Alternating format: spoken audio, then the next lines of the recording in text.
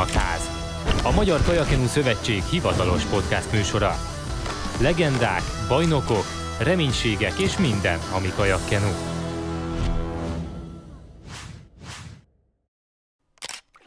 Sziasztok, köszöntök mindenkit, ez itt ismét a Csónakház Kajakkenu Podcast, a Magyar Kajakkenu Szövetség hivatalos podcast műsora. Mai adásunkban születésnapost fogunk ünnepelni, méghozzá a 60 éves Gyulai Zsoltot, kétszeres olimpiai bajnok, hatszoros világbajnok kajakosunkat, a Hungaroring Sport ZRT és a Magyar Olimpiai Bizottság elnökét, és nem tudom, biztos van még azért egy pár titulusod, amiket így elfelejtettem. Hát titulusom nincs sok, én is üdvözlök mindenkit. A Váci Karakán Kajakkenu klub elnöke vagyok még, ami az én hobbim, illetve kötelességem. Úgyhogy nincs ilyesmi, nem vagyok ilyen címgyűjtögető. Ezek a feladatok adódtak az életemben. Mindenek előtt szeretnék gratulálni, hiszen a néhány nappal ezelőtti tisztújító közgyűlésen a Magyar Olimpiai Bizottságnál ismét megkaptad a bizalmat, és négy évig lehetsz, újra négy évig lehetsz a, a szervezet elnöke. Ez tekinthető egy ilyen születés, előszületésnapi ajándéknak? Fogalmazhatunk így is, hiszen olimpia után ugye egy hónapon belül meg kellett csinálni a tisztújítást, úgyhogy ezen túl vagyunk. Nyilvánvaló jól esik a, a, a bizalom a tagság felől, és erre büszke vagyok. Úgyhogy, de büszkék lehetünk kajakosok is, hiszen kajakos elnök még nem nagyon volt, úgyhogy remélem Los Angelesig tudom ezt a munkát folytatni. Az elmúlt napokban találtam egy szerintem roppant találó cikknek a címét, ami veled kapcsolatos, és így hangzott, hogy 60 évesen is Forma 1 tempóban éled az életedet. Mi, a, mi, mi hajt, mi, a, mi az üzemanyag, hogyha ez így van? Soha nem gondoltam volna, hogy az ember 60 éves lesz, és akkor ö, ilyen mm, aktív és sűrű lesz az életem. Mert azért, amikor mi mm, ugye 60 évesekre gondolunk, vagy 50-60 évesekre, akkor már, már azért máshogy gondoltunk erre a korosztályra. De alapvetően úgy, mint a kajakba, feladatorientált vagyok, tehát hogyha a következő olimpiai ciklus nézzük, mindig arra készültem, volt alapozási időszak, versenyidőszak, akkor, akkor inkább ezeket a célokat tűztem ki magamnak. Ez a munkában is így van. Alapvetően ugye 14 éve vezetem a Hungaroring Sport ZRT-t, ez a munkám. Az, hogy két és fél évvel ezelőtt megválasztottak az olimpiai bizottság elnökének, az, az egy, tényleg egy nagy megtiszteltetés volt, és egy nagy kihívás. Kihívás abból a szempontból is, hogy az embernek a munkája mellett kell végezni ezt a tevékenységet, és képviselni az olimpiai mozgalmat, a Magyar Olimpiai Bizottságot. És a párizsi szereplés után a tagság úgy érzem, hogy bízott bennem, ez mutatja ugye a szavazás is, és hát ilyenkor nem mondhat nemet az ember, de hát a, a munka az azért, azért kemény most éppen a Hungaroring Sport ZRT-nél, hiszen egy felújítás közepén vagyunk, de nem nagyon ö, töprengek ezen el most jelen pillanatban, mert, ö, mert ezek a feladatok előttem vannak, de nyilvánvaló hosszú távú terveimben majd szerepel a nyugdíjba vonulás is. Az, hogy feladatorientált vagy, az, az jelenti azt is valamelyest, hogy kicsit a soha meg nem elégedés elve működik? Hát szerintem a, a sportolókra jellemző, tehát hogyha azért mindig nyerni akarunk. Nyilvánvaló. Ez az életben nagyon nehéz, és nem is szabad szerintem azt az attitűdöt továbbvinni az élsport után a civil életbe, mert nem tudsz minden csatát megnyerni, meg, meg mindig harcolni. Én nem nagyon szeretem, akik mindig harcolnak. A nagy harcosokat tisztelem és becsülöm, mert én is magamat nagy harcosnak ö, tudom, de, de aki állandóan harcol valami ellen, az, az nyilvánvaló, az egy fölemészti az embert. A nagy csatákat meg kell vívni, és ez így van az életben is, és a nagy feladatokat pedig el kell vállalni, és végig kell csinálni. Ez szerintem egy ilyen nagy feladat egy ilyen cégnek a vezetése, vagy például mondjuk a Los Angeles-i olimpiára egy, egy jó szereplésnek a kitűzése. Le lehet írni egy szóban, vagy akár egy mondatban, hogy milyen volt ez a 60 év? Nem egyszerű, tudom. Hát sokat gondolkozik az ember azért már ebben a korban. Hát csodálatos egyrészt abból a szempontból, nagyon szép gyermekkorom volt, és amikor én elkezdtem kajakozni, akkor pedig minden után, ezutáni dolgot a kajakozás határozott meg. Tehát belecsöppentem a csónakházba Vácott, és ott megváltozott az életem, egy olyan fordulatot vett, ami aztán később meghatározta minden tevékenységemet. Ott tanultam meg igazán küzdeni, harcolni, terveket szőni, megvalósítani, és azt gondolom, hogy mindent a kajakozásnak köszönhetek. Sokat gondolkodtam azon, hogy mi lett volna, hogy akkor nem megyek le, ott maradok focizni. Vácott, de ott nem imádok focizni a mai napig, de két edzés volt egy héten. Lementem a csónakházba, ott minden nap volt, jó társaság volt, mindent csináltunk.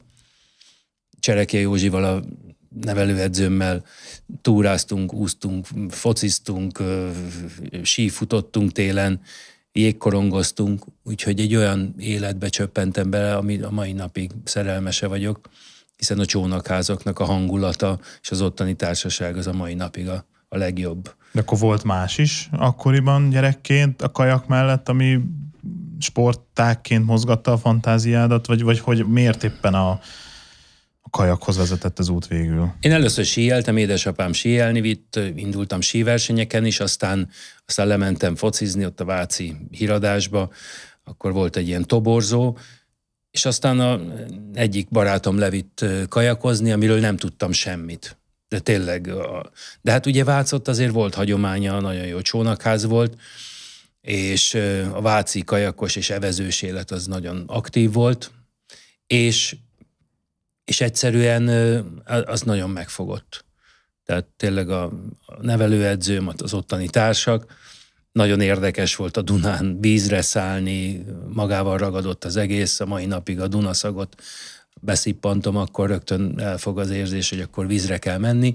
Úgyhogy az, az, az teljesen egyértelmű volt, én 14 éves korom után azt gondoltam, hogy kajakozni fogok egész életemben. És már akkor is megvolt ez a feladatorientáltság, vagy, vagy célkitűzés, tehát voltak konkrét álmaid, vagy, vagy ez még csak a szeretete az egésznek? Nem, nem, mert én később kezdtem, az én csoportom, a Józsinál az már, már jó volt, már Eskimóban, minikajakban nyertek, én meg becsöppentem, és teljesen béna voltam.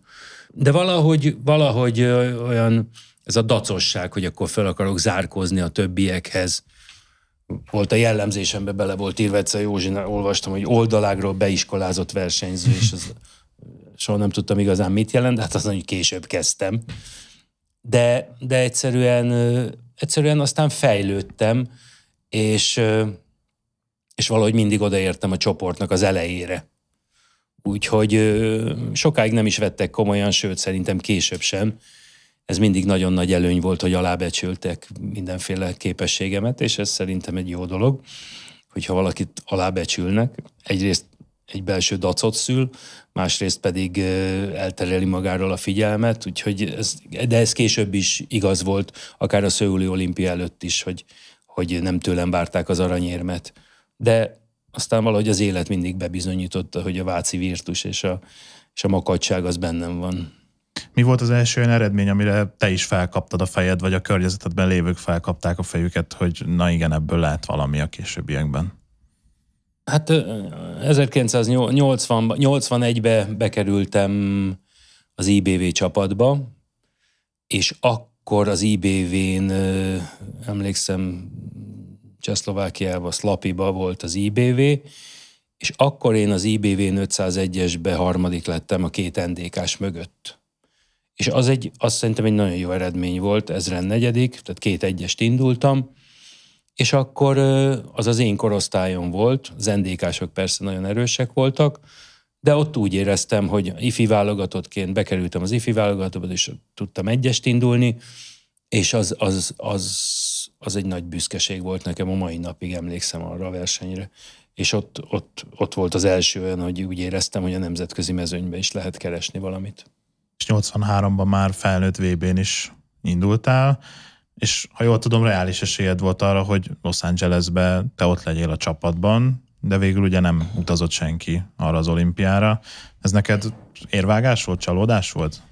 Igen, mert 80, 82-ben aztán gyengébb éven volt, de aztán átigazoltam Győrbe, ugye Fazekas Tibor tanítványa lettem, és akkor ott a Győrben egy nagyon-nagyon jó csoport volt, fiatalok, idősebbek, Stanit Zoli, Jós Pistáék, Ábrahámék, és akkor ott kialakult egy nagyon jó kajakos csapat, és rögtön 83-ban 19 évesen már, nem egész 19 évesen egyes tudtam indulni Tamperébe a világbajnokságom, és ott eszméletlen jól mentem szerintem, tehát ott azért a Parfinovics nyert, óriási hullámok voltak, szembeszél, két percet mentünk 500-on, de én akkor egy csepeli hajóban indultam, és az a csepeli hajó akkor nagy újdonság volt, és pattogtam a hullámokon, nagyon sokáig harmadik helyen mentem, de ott Parfinovics, Ferguson, ezek, és akkor ott volt egy 19 évesen egy ötödik helyem K1 500-on, az rendkívül jó volt, és akkor azt hittem, hogy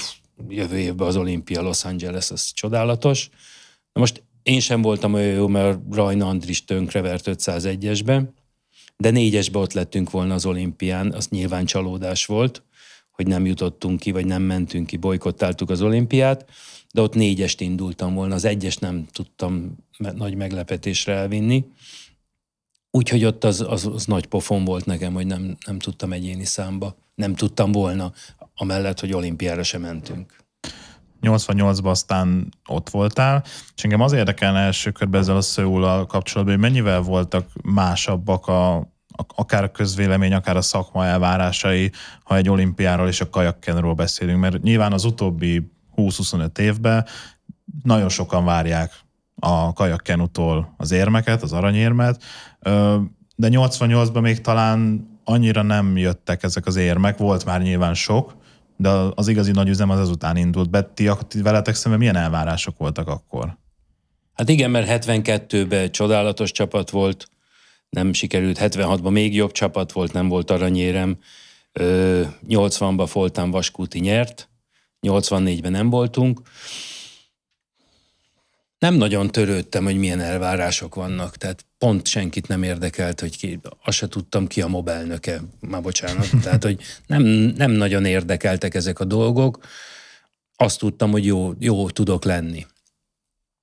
Azt tudtam, hogy előző évben a világbajnokságon hetedik voltam, de akkor váltottunk ugye liminátrapátról vingrapátra, és akkor már ősszel jó mentem, és akkor egész tavasszal, kubai edzőtábor, stb. Pontosan tudtam, hogy mire vagyok képes, de csapaton belül sem tőlem várták. Akkor a kajakosok nem voltak igen ennyire előtérbe, mert, mert és akkor tényleg 85, amikor Csipes Feri megnyerte a K1 ezret, és akkor 86-ban is sokat nyertünk már, 87-ben is VB-t nyertünk négyesbe, akkor mi már tudtuk, de a közvélemény számára nyilván az olimpia volt a legfontosabb, és akkor akkor a Szőuli olimpián azért az a két aranyérem az, az sokat nyomott alatba, és az beindított tényleg egy olyan generációt, amelyik aztán utána sok olimpián jól tudott szerepelni. Azt mondta Parti János, azt olvastam, azt mondta az egyesed után, hogy életedben először önmagad ura tudtál lenni. Ez mit jelentett pontosan? Ez igaz, ez igaz. Hát, János utólag persze bölcsebb volt, ő mindig Csipes Felit favorizálta, és ö, ö, engem mindig úgy háttérbe tartott, de azt ő is látta és tudta, hogy edzéseken vagy bizonyos versenyeken, amikor nem volt rajtam akkora nyomás, akkor nagyon jól tudtam menni. Tehát én szerintem már képes voltam egy olyan 501-esre is, sőt akár 1000-re is, mert volt, hogy 86-ban is nyertem magyar bajnokságot és nemzetközi versenyeket 1001-esbe, hogy, hogy azért bennem van az a fajta az a fajta képesség, hogy akár nyerhetek is. Az, hogy Szőulba összejött minden, ez nem, nem egy véletlen műve volt, hanem én is akkor úgy éreztem, hogy minden, minden kockát összerak az ember, minden a felkészülésben, a, a kinti körülményekben, és akkor ugye összejött egy tökéletes pálya, ami azt eredményezte, hogy azért tényleg egy fölényes győzelem volt. Sokak szerint a robbanékonyságod volt az igazi titkod, amivel, amivel mások fölé tudtál kerekedni, legalábbis ezt olvastam így korábbi tudósításokból. Hát, hogyha így külön elemezzük a dolgokat, akkor alapvetően mindenkivel vitába szállnék, hogy mi az, ami, mi az, ami képessé tesz egy versenyzőt a győzelemre. Tehát, hogyha, hogyha ezt elemezzük, voltak nálam robbanékonyabbak. Igaz, hogy nagyon gyors voltam, és, és mivel Vácod nőtte föl, nem csak gyors, hanem kitartó is bizonyos tekintetben, és a gyorsasági állóképességem is megfelelő volt, hogyha, hogyha minden összejött az edzéseken. De alapvetően távolról nézve, távolabbról nézve, illetve most már ennyi tapasztalattal, akár sportvezetőként is megélni ezt a dolgot, én azt gondolom, hogy nem lehet egy dolgot kiragadni valakiből, a győzni tudni kell, és mindenféleképpen a győzelem tudománya az, az valakibe vagy benne van, vagy nincs. Van, aki mindig második egy picivel, és már majdnem nyert, és tényleg csak egy paraszt hajszál választja el a győzelemtől, de van, aki meg mindig egy picivel nyer, és az a pici az nagyon sok az első és a második hely között, ez nyilvánvaló. 85-ös év volt olyan, amikor a Csipes Feri megtanult nyerni, és minden versenyt egy hajszállal nyerte meg. A végén berúgta a hajót, aztán megnyerte a világbajnokságot is. Tehát valaki ráér ez a győzelemre, az nem, az nem csak fizi, fizikális dolog, az egy, az egy szellemi győzelem is. Te viszont simán győztél, hogyha jól tudom, ott azon a 88-as egyes alkalmával. Még úgy is, hogy, hogy ha jól olvastam, akkor te 400-nál kinéztél, és ott egy kicsit meg is mm-hmm. billentél, vagy kiestél. Mennyire tudsz visszaemlékezni arra az érzésre? Benned hogyan csapódott le az a győzelem? Te, igen, a, a parti nyilatkozatára visszatérve az tényleg, mert volt olyan én is sokszor, akár a 84-es év, meg előtte is fiatalon, hogy nagyon vezettem, kinéztem, elkezdtem nézegetni, és akkor elment a győzelem. Tehát azt egy idő után megtanulja az ember, hogy nem nézegetünk, hanem teljesítjük a, le, a legjobb pályát. Egyébként az, a, az az egész szöuli versenyzés, az bennem van teljes mértékben. Nem csak azért, mert ott készültek videók, hanem tényleg olyan, mintha nagyon frissen él bennem, de bennem minden évnek a világbajnoksága vagy az olimpiája, az bennem van, hogy milyen érzések, milyen volt a felkészülés, és maga a verseny is. Úgyhogy ilyen szempontból jó. Ráadásul az a típusú versenyző voltam, aki minden évben edzésnaplót ír részleteset, és az még mindig megvan. És ez megvan, és időnként vissza is olvasgatod? Ah, nagyon jól esik. Igen, igen, igen. Régen még a a Váci időszakomban, meg a Győribe is, még rajzolgattam is a hajókat, hogy ki hol ment, melyik résztávnál hány, hány mennyi volt az aránya a résztáv nyerésekben, meg ilyesmi. Úgyhogy tök jó kis rajzaim vannak egy egyezésről. Viszont nem volt még ezzel vége Szőulnak, hiszen jött a, a négyes. Én megnéztem, a négyes azért 86 előtt nem feltétlenül a fénykorát élte Magyarországon a mindenkori négyes. Ugye volt egy világbajnok egységünk 54-ből, az utolsó olimpiai érem az 68-ban volt egy harmadik hely, és talán még 75-ben volt egy VB harmadik hely. Nektek viszont 86-tól kezdve minden összeállt, igaz, azért változott a felállás itt is, ott is. Mi volt a titka ennek a generációnak, vagy, vagy hogyan jött ez így ki? Ilyen ínséges évek után ez így összeálljon. Nagyon érdekes, és ezt még ugye soha nem beszéltük ki, nyilván már 60 fölött, vagy 60 körül ki lehet beszélni, hogy hogy állt össze ez az egész. És hogy lehet azt a ennyi év távlatából megítélni, hogy mi volt az, ami a magyar kajakkenu sportban megváltoztatta, vagy az egész kajakkenu sportban megváltoztatta a négyes technikát. De most kizárólag 1004-esről beszélek számomra, az 1004-es az, ahol kijön a technikai különbség, az a fajta evezés, mert az 504-es és az 1004-es az teljesen más.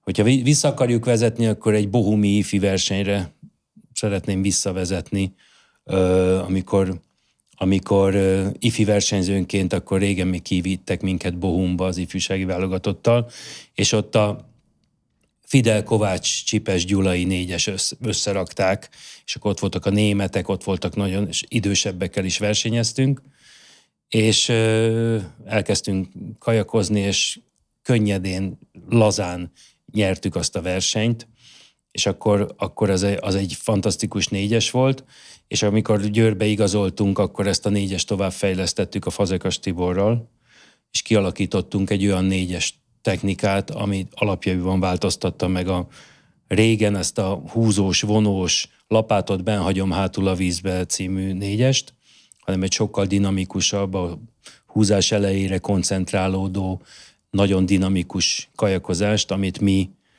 1985-ben már, már alkalmaztunk, 84-ben még nem, és akkor én sztrókoltam, és akkor 85-ben egy VB negyedik helyen indítottunk, akkor még Böjti Zsolt volt bent a, a négyesbe, és 86-ra pedig beült a Csipes Feri, és akkor Fidel Kováccsal egy fantasztikus menettel Montrealba világbajnokok lettünk, és ott kezdődött el az a fajta kajakozás, és ez nem csak azért, mert egyénileg is jók voltunk, hanem azért is, mert egy teljesen újfajta stílust honosítottunk meg a négyes kajakozásban, és ez annyira eredményes, és annyira az egész arról szólt, hogy, hogy spórolj az energiáddal, és kibírd azt a három percet, mert általában négyesbe ugye fölőrölték magukat a versenyzők, és ez a négyes technika aztán vezetett végig. A mi négyesünkön Szöulba nyertünk, akkor már Csipes, Ábrahám, Hódosi és én,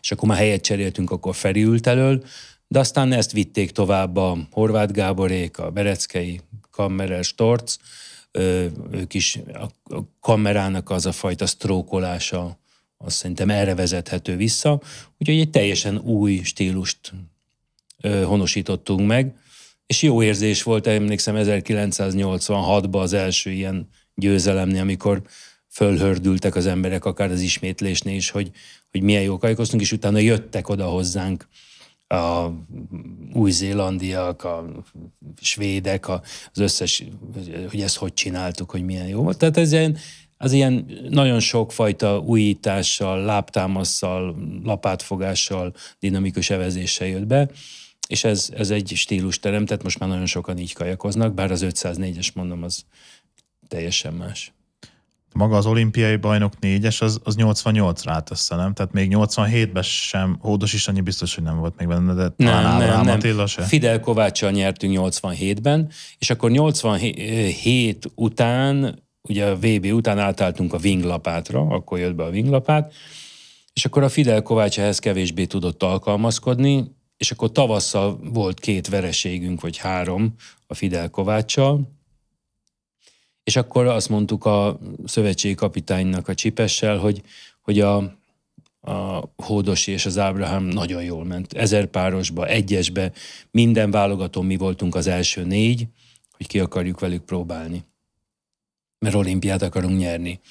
És akkor mondták, hogy jó, hát akkor induljunk el a magyar bajnokságon, ha, nyerünk nagyon, akkor, akkor benne vannak. És akkor nagyon nyertünk, és akkor az olimpiára álltunk össze. Így van. Az olimpia volt az első nemzetközi versenyünk. De azért gondolom más lelki állapotban álltatok oda a négyeshez. Te gondolom a felegekbe jártál az 501-es után. Ferinek az 1001-es az nem igazán sikerült úgy, hogy szerette volna. És, és a, a Hódos is annyinál meg valami olyasmit olvastam, hogy neki bizonyítania kellett, vagy olyan érzés volt benne, hogy bizonyítania kell. Milyen állapotban ültetek össze? Hát én maga biztos voltam, mert rettentő jó formában éreztem magam, a Gida is nagyon jó volt. A Ferinek meg volt egy mellé sikerült egyese, hiszen akkor reggel ott nyilván nyerni akart, nagyon akart nyerni, vezetett 700-ig, 750-ig, és ott egyszerűen elmerevedett, hideg volt, jött, mellette jött a Barton, állandóan nyomatott mellette, és lemerevedett, és alig ért be a célba, tehát nem állt meg, mint ahogy sokan mondják, hanem egyszerűen van ilyen, tehát mi Atlantába Bártfai Krisztiánnal mi is vezettünk, lemőre vettünk, kész, ott bedarál a mezőny, tehát ott nincs mese. Úgyhogy természetesen a Feri el volt teljesen keseredve és bizonytalanodva, ráadásul előző nap 500 párosba is jól mentek, de ott nyerni akartak, de harmadikok lettek. Úgyhogy a Sanyi meg volt egy, nagyon jó ment, de 85-be is, meg 86-ba is meg 87-ben is volt egy elrontott világbajnoksága, vagyis három, ugye ott nem jött ki neki a lépés, ennek ellenére ugye bizalom benne volt, mert nagyon jól mentek, és akkor neki pedig azt kellett bizonyítani, hogy olimpián is, vagy egy világversenyen is oda tudja tenni magát, de hát olyan jó volt az a négyes, hogy ott, ott nem volt mese, ott tényleg nagyon jók voltunk. A személyiségetek az mennyiben különbözött? Egyáltalán fontos volt ez, mert tudjuk, hogy a később a storcéknál ott, ott személyiségbeli különbségek azért voltak, mégis tudtak jól együtt menni. Nálatok ez hogyan működött? Mennyire voltatok ti barátok akár? Mi nagyon sok időt töltöttünk együtt, de hát szerintem a storcék is. Ö, én azt gondolom, hogy teljesen különböző személyiségek vagyunk, de, de mindig együtt tudtunk működni, sőt nem együtt tudtunk működni, mindent együtt csináltunk, tehát az edzőtáborokban együtt voltunk, ö, haverok voltunk, egy klubból voltunk, tehát szerintem mi, mi, mi, mi nagyon a mai napig is együtt vagyunk, és én nagyon szeretem őket, mert alapvetően végigvertük a világot, és olyan dolgokat valósítottunk meg, amik, amik tényleg nagyon klassz élmények magunk számára. Hát persze voltak összetűzések, főleg ugye a Csipes Feri meg köztem, akik egyesbe is rivalizáltunk, de de amikor beültünk a négyesbe, vagy, vagy kiszálltunk a hajóból, akkor ezek mindig eltűntek. Mindig felül tudtunk emelkedni, és a célt megfogalmazva megvalósítani a álmainkat. Azóta is összejöttök minden évben? Persze, bár a Feri most már nem annyira aktív, de az Ábrámmal nem vagyunk sokszor a Honvédban, ugye a Feri edzősködik, és, és ő kevésbé aktív, de, de bármikor múltkor is hívott, tényleg jóba vagyunk. Sanyika ugye Amerikába él, de vele is szoktunk beszélni. Úgyhogy azt gondolom, hogy most már főleg abba a korba éltünk, és ez talán akkor változott meg egyszer, amikor nem is tudom, jó pár éve, 10-15 éve, vagy még talán régebben is, mindig úgy szeptember 30-án volt az egyes, október 1-én a, a négyes, és akkor október 1-én valamelyiket fölhívtam, hogy tudjátok, tudod milyen nap van? És akkor bambultak, mondom, gyerekek, most nyertünk 10-20 éve, mondom, akkor este ultizzunk egyet, meg ígyunk meg valamit. És akkor ez egy rendszeres dolog lett Angyal Zolival az edzővel, és akkor minden október 1-én csinál, régebben duhajabb volt az együttlét, most már nyilván szolidabb, de, de mindig, mindig tudunk elmenni, vacsorázni, kajálni egyet, felpattintunk egy jó üvegbort, úgyhogy én, én azt gondolom, hogy ezek, ezek örökre szóló kapcsolatok, barátságok. És ez akkor idén sem fog elmaradni. Hát remélhetőleg nem. Mondom, Sanyi az nem fog hazajönni most ezért, de egyszerűen megbeszéltük, hogy mi megyünk ki Floridába hozzá. És jött 92, ahol két ezüst ugyanezekben a, a számokban. De nem csak kérdés szinten merül föl, hogy, hogy mennyire volt te jól lakott Szőjól után? Az égvilágon sem ennyire. Tehát akkor eznek semmi Há. köze ahhoz, hogy... Hát 89-ben mentem a legjobban. Tehát ott 1001-est megnyertem a világbajnokságon, 501-esbe kizártak, de azt is megnyertem volna. Négy számot indultam, 90, aztán 90-ben belehajszoltak minket a csipessel egy ilyen ott okosabbnak kellett volna lenni, ott, ott kellett volna egy bölcs hangnak lenni, hogy ne menjetek minden számot, ne mindig egymás ellen menjetek. Mire odaértünk a világbajnokságra, kifacsartuk magunkat, de 92-ben teljesen, és, és jók is voltunk. Ott is el kellett volna gondolkodni, hogy ne menjünk már három számot, mert a Ferivel akkor elvittük még az 500 párost is, elég lett volna ugyancsak az a két megszokott szám, de, de teljesen jól, és annak ellenére, hogy kilencedik idővel jutottam be, az a második hely, az nagyon szép volt. Jó emlékeid vannak akkor Barcelonára összességében? Hát olyan szempontból nem, hogy két ezüssel logóra jöttem haza, mert nyerni akartam, tehát ez egyértelmű. A négyesben több összetevő volt, ott nem előzőben nem cseréltük ki a hajót, mert úgyis majd a régi fahajóba is tudunk nyerni, mert ugye hat éve nyertünk folyamatosan, ott észné kellett volna lenni. Egy-két, ott a Feri nem volt túl jó formában, egyesbe is kiesett, de azt tudom mondani, hogy nem, nem, nem különösképpen nem követtem el ö, hibát, lelkiismeretem tiszta, tehát ott, ott egy olyan szoros verseny volt egyesbe, hogy ott bármi lehetett volna. Hát meg utólag azért ott születtek meglepetés eredmények, nyilvánvaló, hogy olyan emberek mentek ott nagyon jól, amit akkor nem értettünk, hogy miért történt. De hát ez most már történelem és aztán meg mentél ugyan 96-ba, de ott már dobogóra nem álltál, és szépen lassan ezután hagytad abba, hogyha jól tudom, vagy még lehet, hogy Sydneyvel megpróbálkoztál? Ez... Gyorsan hagytam abba, nem szép lassan. Tehát nekem ott Atlanta után, ami az is egy, ugye, egy másfél hónappal Atlanta előtt a Bártfai Krisztiánnal 500 párosba egy hajóval nyertünk. A németeket, olaszokat megvertük, akik az olimpián. Ott is egy ilyen akklimatizációs probléma volt.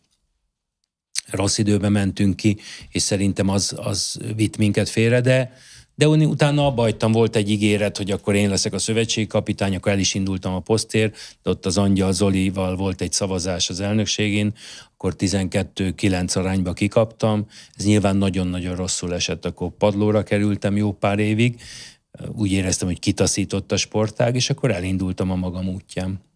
Na igen, ez egy jó, vagy nehéz kérdés, hogy egy sportoló, amikor leteszi a lapátot, eljut oda, akkor mihez kezdjen utána, hiszen sokan szerintem nem feltétlenül terveznek a sportoló utáni életükre. Neked mennyi idő volt, mire megtaláltad az utadat? Egyáltalán mi volt ez az út? Hát igen, a sportoló kétszer hal meg. Egyszer, amikor abba adja az aktív pályafutását, másodszorra egyértelmű. De nagyon, nagyon nehezen hevertem ki. Én annyira szerettem, a mai napig szeretek kajakozni, és bármi, ami a kajakozással van, az, az, az szórakoztat és kikapcsol. Tehát én azért is, Vácot is azért vállaltam, hogy építettük a csónakházat, ott legyenek a gyerekek, mert egyszerűen azt gondolom, hogy iszonyatosan jó közeg. A kajakos közeg, vizen lenni fantasztikus dolog, és, és nagyon hiányzott az. És amikor még ráadásul a saját sportágad is kitaszít ilyen módon, ami nem egy egyedi eset. Megszokhattuk azt, hogy a, a sikeres, kiemelkedően sikeres sportá, sportolók, akik adott sportákban sok sikert érnek el, és év, éveken keresztül ugye nyernek, és még nagy szájuk is van, azt előbb-utóbb azt kilöki egy kicsit a sportág, főleg ugye a, az irítség miatt. De, de talán ez, az, ez egy nagyon jó dolog, ami történhetett velem, hiszen most annak ellenére, hogy tanultam előtte, de nem volt, nem volt B-tervem különösképpen. Tehát szerettem volna a sporton belül maradni, de tök jó, hogy nem maradtam. Érdekelt téged valaha az autósport? De nem. Nem, nem. Csak már ez egy ilyen, hát egy ilyen furcsa nekem, hogy hogy egyszer csak belecsöppensz ebbe a világba, és gyakorlatilag 14-15 évet ebbe igen, csak aktívan benne vagy. Hát igen, de az autósporthoz nincs sok közöm, hogyha most ezt így elemezzük, hogyha, hogyha azt megnézzük azt, hogy én mivel foglalkoztam a aktív pályafutásom után, akkor azt tudom mondani, hogy ugye volt egy időszak, amikor én egy sportszergyártó szégnek voltam a marketing igazgatója, és ott én megtanultam az ügyvezetési feladatokat. Tehát, hogyha klasszikusan értelmezzük a dolgokat, akkor én 96-tól, 97-től én gyakorlatilag cégvezetést gyakoroltam. Tanultam, gyakoroltam aztán. Aztán saját céget vezettem, és 2010-től pedig ugye a Hungaroring Sport ZRT-t, mint, mint állami többségi tulajdonú vállalatot vezetem, annyiban van köze az autósporthoz, hogy autósportos események, illetve a Forma 1-es futam zajlik azon a pályán, amit a cég tulajdonol, de sportszakmai kérdésekkel nem foglalkozom. Természetesen a Forma egy világa az egy érdekes és nagyon jó, de nem, nem kimondottan az, hogy most kinek van, tehát milyen szárnyak vannak az autón, és hogy milyen gumit raknak föl, hanem az, hogy, az, hogy a céget hogy lehet irányítani, és hogy hogy működik a Forma egy nemzetközi viszonylatban. Nehéz megtalálni az egyensúlyt a Hungaroring és a MOB között?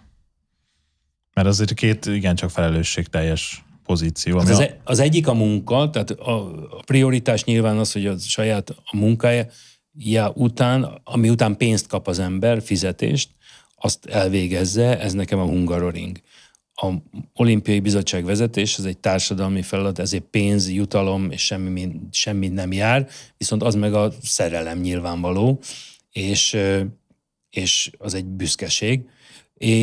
De igen, nehéz, nehéz, mert mind a kettő Mind a kettő napi törődést igényel. A napi törődés az abból áll, hogy, hogy itt is dolgoznak 50-en, ott is egy 35-40 ember, akivel, akivel, ha nem is közvetlen irányításom alá tartozik, hiszen a főtitkár a mobba az, aki a munkáltató, de azért, azért az elnöknek azért sok mindent meg kell mondani, hogy az hogy legyen, mert az elnökön kérik számon. Az edzősködés az soha nem foglalkoztatott? De én edzősködtem is, meglepetésszerűen. Ugye én akkor 2003-4-ben szedtem össze azt a csapatot, amelyik ott lepattant valahonnan, és az MTK-ban összeraktunk egy kis csapatot, ahol a, még a Pauman Daniék és a, a Tóth Dávidék jöttek össze, és akkor én két vagy három évig ezt csináltam is.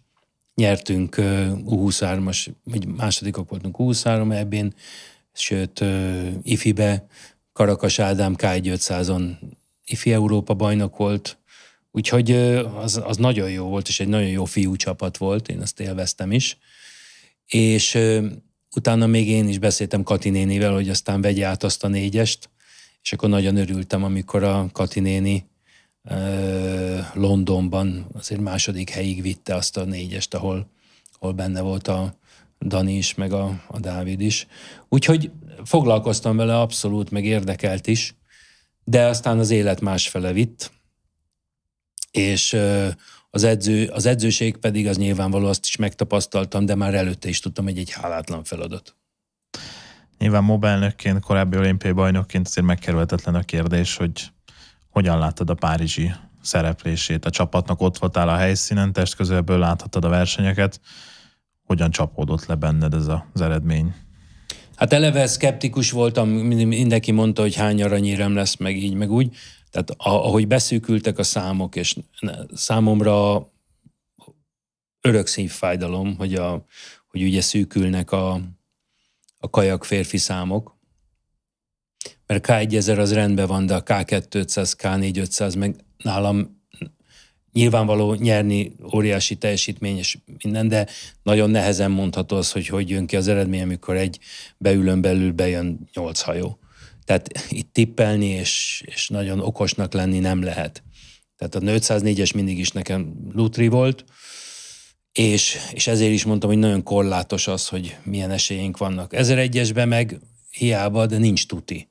Tehát az, hogy a Dostál így ment, az számomra nem volt meglepetés, mert azt tudtuk már nagyon régóta, hogy, hogy nagyon-nagyon jó kajakos. Az, hogy így fel tudott készülni, és így meglepte a mieinket, az egy mestermunka volt, de úgy láttam a befutó után, hogy ő, ő maga is nagyon meglepődött, mert, de egyébként nagyon jól rakta össze a pályát, a mieink pedig, a mieink pedig szerintem, a mieinket is meglepte, az, hogy a Bálin nem tudott vele menni, az egy, az egy érdekes kérdés.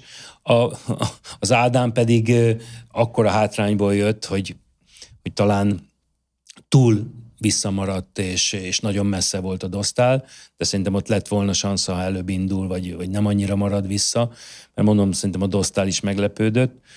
De ö, nagyon jó volt nézni, és nagyon jó volt látni. A, a Sanyiéknak a páros az szerintem szenzációs volt, az nagyon-nagyon jó volt összerakva, és azt lehet mondani, hogy tényleg abból mindenki jött. A négyesről van véleményem, mert, mert szerintem ott, ott hiányzott az egyesbeli megmérettetés és teljesítmény, és szerintem ott el kell gondolkodni a válogatási elveken, hogy ezt hogy lehet jövőben is, hogy kell. Én mindig is a központi felkészülés híve voltam, és régen, amikor ifi a juniorba is ugye csináltunk edzéseket, akkor én mindig összetereltem a férfi kajakos csapatot, mert én abba hiszek, hogy, hogy ahogy mi edzettünk annak idején, az a rivalizáció egy csoporton belül az rettentően viszi előre, és az egyes teljesítmény mindennek az alapja. A lányok fantasztikusak voltak, mert szerintem kihozták magukból a maximumot. Az pek, hogy hogy a Carrington az ennyire jó volt, és milyen meglepő, hogy 35 éves korára szerintem most ment a legjobban. Úgyhogy, de azt tudom mondani, hogy szerintem, szerintem nagyon jó volt a csapat, természetesen hiányzik az arany, hiszen 76 óta nem történt ilyen, de ettől függetlenül a szűkös lehetőségeink, ami a versenyszámokat illeti, nagyon jó az eredmény. A jövőben meg el kell gondolkodni azon, hogy, hogy ott hagyunk-e kajakszlalomba ennyi érmet. Tehát, hogy, hogy mi a kajakenu jövője, és ugye ott beszélgetve a Nemzetközi Kajakkenu Szövetség elnökével, vagy ott a, a stábbal, tehát hogyha a slalom ennyire megy, és ennyire nézett, akkor nem lesz kevesebb a slalom szám, és a síkvíztől el fog vinni mindig.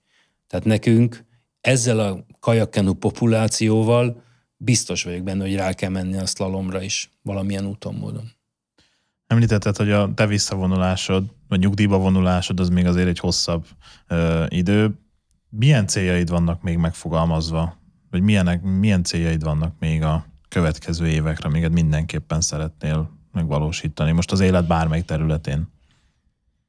Hát szeretném, mindenféleképpen szeretnék családi körbe sokkal több időt tölteni az unokáimmal és a gyerekeimmel, és ez nem egy ilyen frázis, mert feleségemmel azért ö, együtt vagyunk ugye 42 mm, éve, Két, 1982 vidékbajnokság Szeged Matyér, ott ismerkedtünk meg június 1-én, úgyhogy azóta tart a kapcsolatunk, és, és szerintem most amit itt elmondtunk, ez a sok közéleti dolog, vagy valami, ezek klassz dolgok, de, de ezt hamar el fogják felejteni az emberek, de a, amit a gyerekeiddel vagy az unokáiddal minőségi időt töltesz, és próbálod őket okítani, vagy példát mutatni nekik, ő bennük meg sokkal tovább megmaradsz, és én ezt szeretném erősíteni, bármennyi furcsa is ez a dolog, mert ezek a munkák, ezek persze nagyon jók, de, de az élet igazi kihívása az, hogy milyen nyomot hagysz gyermekeidbe, unokáidba, úgyhogy én, én ezt szeretném a jövőben még inkább, természetesen összeegyeztetve azokkal a feladatokkal, amik előtted állnak. Ennek a harmóniáját vagy egyensúlyát megtalálni a jövőbe. Ez egy fontos feladat. Lesz most valamilyen ünneplés? Vagy ez más születésnap nyilván, mint a többi, mert kerek? Kérés az, hogy te mennyire tartod másnak. Mindig másnak tartottam, nagy jelentőséget tulajdonítottam neki. Tehát alapvetően egy ugyanolyan nap, mint a többi, vagy ugyanolyan születésnap. Családi körbe igen lesz, és az a legjobb, amikor mi otthon összegyűlünk. Én ilyen nagyot nem tervezek semmiképpen, kollégákkal lehet, hogy lesz egy kocintás, vagy lent a Honvédba a szokásos csütörtöki foci, amikor Ani néni berottyant valamit, vagy a többiek ott, ott megkocintjuk magunkat, aztán ennyi, mi szeretünk ott a Honvédba, ezt a közösségbe lejárni, és egy kicsit ütni-vágni egymást a focipályán. Hát akkor Isten éltessen még egyszer, és sok sikert kívánok a következő 60 évre is. és akkor 60 szépen. év múlva remélhetőleg ugyanígy beszélgethetünk egyet. Köszönöm, hogy itt voltál. Köszönöm. Nektek pedig a figyelmet köszönjük, tartsatok önk legközelebb is. Sziasztok!